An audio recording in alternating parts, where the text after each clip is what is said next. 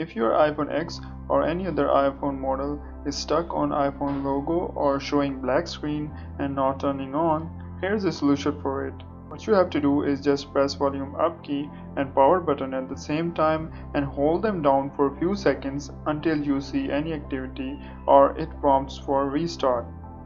It will forcefully restart your iPhone and if that doesn't work then there are highly likely chances that your battery is died and you have to change the battery and if it is not even displaying the Apple logo it could also mean that screen has some issues so get it replaced.